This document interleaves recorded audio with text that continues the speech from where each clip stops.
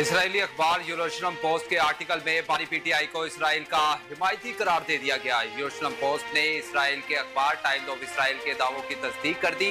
Article में लिखा गया है कि बानी पीटीआई इसराइल मुखालिफ बयानिया देने के बावजूद इसराइल से बेहतर ताल्लुकात के इशारे देते रहे।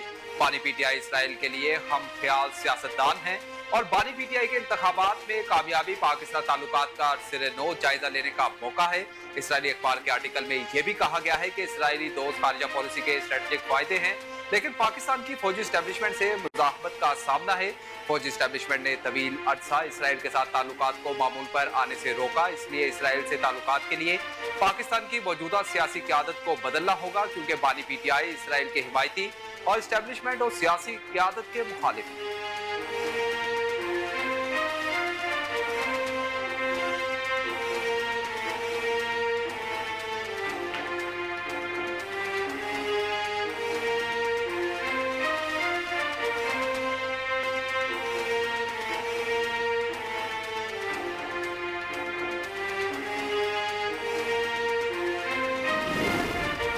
यूरोशलम पोस्ट ने बानी पीटीआई का दोगलापन बेनकाब कर दिया। इसराइली अखबार में छपने वाले आर्टिकल पे रद्दमल देते हुए मरियम औरंगज़ेब ने कहा कि यूरोशलम पोस्ट ने बानी पीटीआई को हम ख्याल करार दिया बानी पीटीआई इसराइल से मामूल के ताल्लुकात चाहते थे। मजीद बोली कि यूरोशलम पोस्ट की बात आम खोल देने वाली है क्योंकि इस आर्टिकल ने बानी पीटीआई का दोगलापन और तजादात का पहलू बेनकाब कर दिया। इस हवाले से लीगी रहनुमा बैरिस्टर दानियाल चौधरी ने कहा कि आज पाकिस्तान को कमज़ोर किया जा रहा है। इनके पास पाकिस्तान को कमज़ोर करने का एक ही तरीका था कि अफवाज को कमज़ोर करो, या अफवाज पाकिस्तान को कमज़ोर करने की कोशिश कर रहे हैं। मजीद बोले कि पाकिस्तान की आवाम हमेशा एक सवाल पूछती रही है। चौदह के मुजस्मे जलाए गए, मज़ाक उड़ाया गया। एक जत्था अमरीका में बैठकर आईएमएफ की इमारत के बाहर से भी एहतजाज करता था।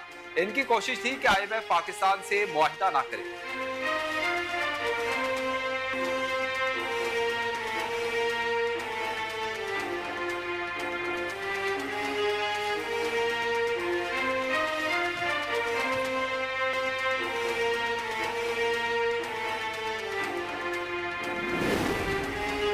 इंतशारी सियासत मुस्तरद करके अवाम ने माशी पॉलिसियों में बेहतरी को तरजीह दी वज़ीर अजम शहबाज शरीफ ने मुल्क सियासी और माशी सूरत हाल पर गुफ्तु करते हुए कहा कि अवाम महँगाई में कमी, अपने मसाइल का हल और माशी बेहतरी चाहते हैं।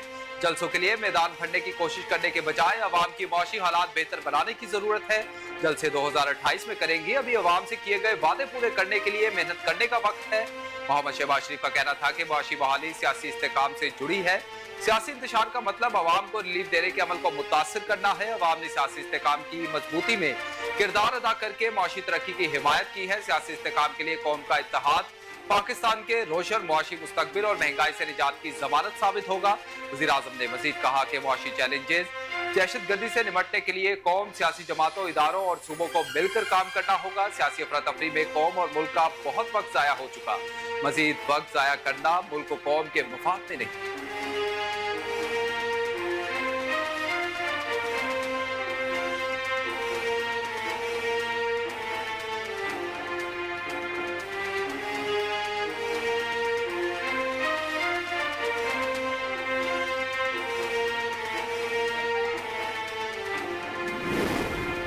पाकिस्तान में बाज आईपीपीज का घिनौना किरदार सामने आ गया। कुछ आईपीपीज ने गलत कॉन्ट्रैक्ट की वजह से बगैर बिजली पैदा किए हुकूमत से अरबों रुपए वसूल किए। आईपीपीज ने गलत कॉन्ट्रैक्ट किए, जिसका खमियाजा पाकिस्तान को भुगतना पड़ा। आईपीपीज ने बांग्लादेश और वियतनाम के मुकाबले में पाकिस्तान में विंड प्लांट चार गुना महँगे लगाए। कोयले की वसी जखायर के बावजूद आईपीपीज इम्पोर्टेड फ्यूल और दरामदाद कोयले पर इंतज़ार कर रही है। आईपीपी ने जितना इंपोर्टेड फ्यूल दरामद किया, उतनी बिजली पैदा नहीं की और हुकूमत से अरबों रुपए की सब्सिडी भी हासिल की। आईपीपी ने प्लांट्स की देखभाल की मद में हुकूमत से अरबों रुपए वसूल किए। हुकूमत पाकिस्तान आईपीपी के इंश्योरेंस भी खुद बर्दाश्त कर रही है। आईपीपी के बेशतर मालिकान मुकामी जानबूझकर कॉन्ट्रैक्ट गैर मुल्कियों के नाम पर किए गए। आईपीपी हुकूमत के बेपना इसरार के बावजूद फोरेंसिक ऑडिट से गुरेजा। है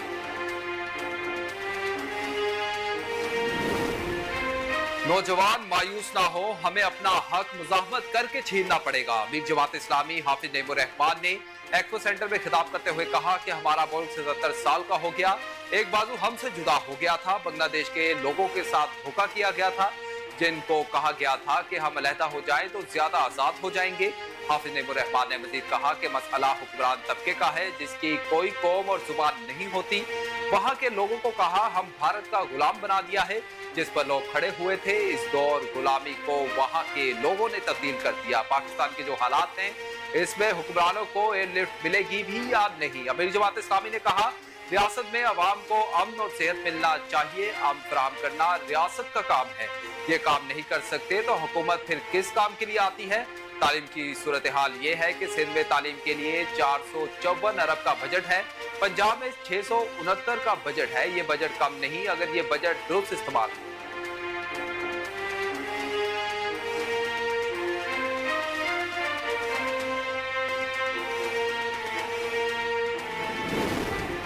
सवात में मालम जब्बा रोड पर पुलिस मोबाइल की रिमोट कंट्रोल बम धमाके में निशाना बनाया गया। पुलिस के मुताबिक रिपोर्ट कंट्रोल बम धमाके में एक पुलिस एहलकार शहीद, तीन जख्मी हो गए। पुलिस ने बताया कि पुलिस वैन दस से जायद ममालिक के सफीरों की सिक्योरिटी काफिले में शामिल थी। धमाके में तमाम सफीर महफूज रहे।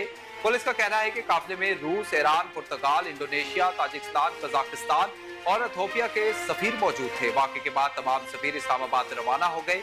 पुलिस के मुताबिक तमाम सफीर चैम्बर ऑफ़ कॉमर्स मैंगोरा की तकरीब में शिरकत के लिए मालम जब्बा जा रहे थे। दूसरी जानब मालम जम्बा के करीब वाक़े पर तर्जमा दफ्तर खारजा ने बयान में कहा है कि सफारतकारों का ग्रुप बखैरियत इस्लामाबाद वापस पहुँच गया। तर्जमान ने बताया कि मालम जब्बा और सवाद के दौरे के बाद इस्लामाबाद वापस जाने वाले सफारतकारों के ग्रुप के साथ एक वाक्य पेश आया। पुलिस गाड़ी को आईईडी बम धमाके का निशाना बनाया गया, जिसमें एक पुलिस एहलकार शहीद हुआ।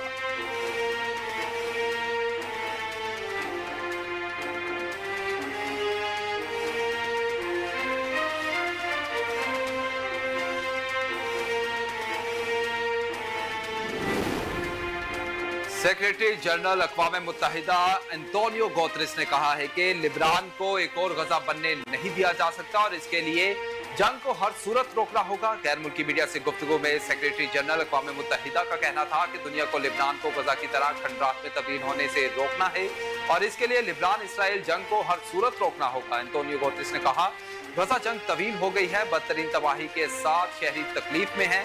जिन्होंने गजा जंग शुरू की, वही इसके जिम्मेदार हैं। उन्होंने मजीद कहा कि वो गजा के लोगों की ज़्यादा मदद ना करने पर अफसुरदा हैं और इसकी वजह इसराइल की जानब से लगाई गई पाबंदियाँ हैं।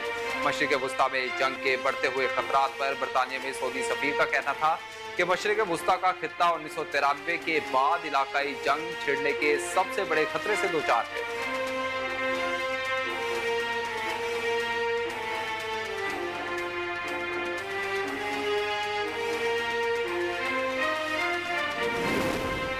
भारत ने बांग्लादेश के खिलाफ दो टेस्ट मैचेस की सीरीज़ के पहले मैच में मेहमान टीम को 280 रन से शिकस्त दे दी। भारत और बांग्लादेश दो टेस्ट मैचों की सीरीज़ का पहला मैच 19 सितंबर से 22 सितंबर के दरमियान चेन्नई के स्टेडियम में खेला गया, जहाँ भारतीय टीम ने 280 रन से बड़ी फतह हासिल करने में कामयाब रही मैच के हीरो रवि चरिंद्रा अश्विन रहे।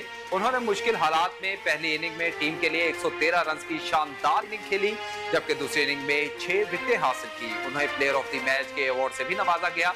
बांग्लादेशी टीम को टेस्ट मैच के लिए 515 रन का मजमूई हदफ मिला था, लेकिन खाली टीम के बैटर दूसरी इनिंग में महज दो रन बनाकर ढेर हो गए।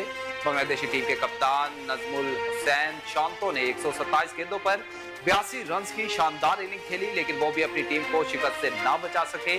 शांतु के अलावा कोई भी बैटर अच्छी कारकर्दगी नहीं दिखा सका।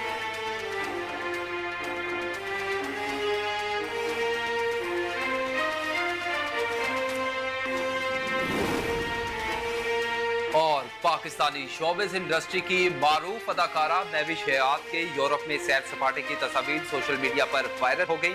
हाल ही में अदाकारा महविश हयात ने photo and video sharing app Instagram पर अपने ऑफिशियल अकाउंट से चंद तस्वीर शेयर की जो मदाहों के दिलों को भा गई। मस्कुरा तस्वीर में अदाकारा ब्लू जीन्स और स्वीट शर्ट के साथ गहरे नीले रंग के कोट में मलबूस हैं और यूरोपीय मुल्क के सैर तफरी से महसूस हो रही हैं। इस मौका पर अदाकारा ने बाल खोल रखे हैं और सन ग्लासेस लगाए हैं। मदाहों की तवज्जो अपनी तरफ़ मजबूर कर रही हैं, बल्कि मेकअप में नाजुक अदाएँ महविश हयात के हुसन को दो आतिशा कर रही हैं। तस्वीर ने सोशल मीडिया पर आते ही धूम मचा दी। पोस्ट पर सोशल मीडिया सार्फिन की जानब से पसंदीदगी का इजहार किया जा रहा है, जबकि कमेंट सेक्शंस में मद्दा इन्हें बॉलीवुड अदाकारा प्रियंका चोपड़ा से तशवी दे रहे।